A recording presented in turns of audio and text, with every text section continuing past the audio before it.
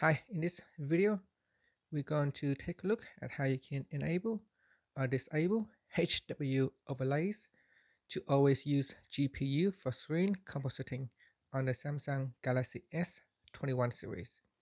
First, tap on the home key to go back to your home screen. Then swipe down at the top and tap on the settings button. Next, you want to go down and tap on developer options. And in here, swipe down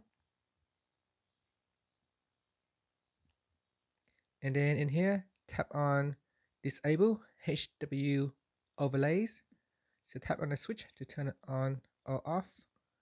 If it is switch on you can always use GPU for screen compositing.